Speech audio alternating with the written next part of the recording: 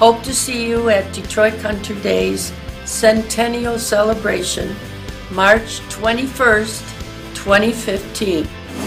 Where do I expect to be on March 21st, 2015? At the Detroit Country Day Centennial Celebration. I hope to see you there.